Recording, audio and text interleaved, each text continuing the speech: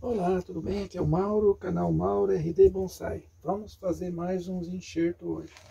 Só que dessa vez, em vez de um enxerto, eu vou fazer mais enxerto em cada planta.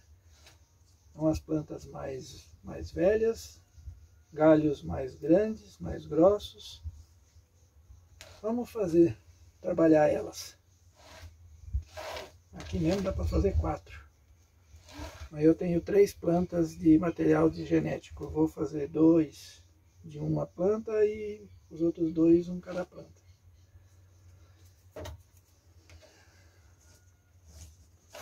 Vamos lá. Primeiro, começar com o do meio. Fazer ela mais alta, esses três eu faço mais baixo.